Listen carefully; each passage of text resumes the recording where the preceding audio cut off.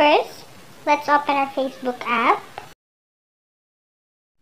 Next, open the video that you want to download. Here, I'll try to download one of my video in my Facebook page.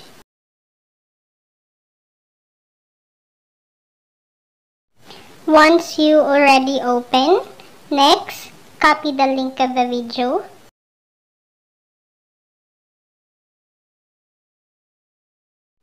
Once you're done, let's go to our Google or any of your web browser.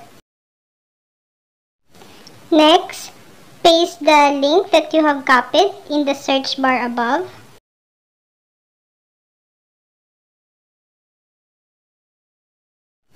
Then enter. Here, the video that you want to download will appear. After confirming that this is the video that you will download, next, tap the URL above. Then, tap the pencil icon so that we can edit the URL.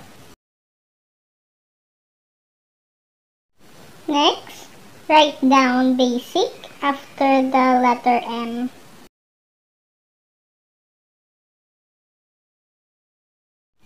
Then when you're done, just enter.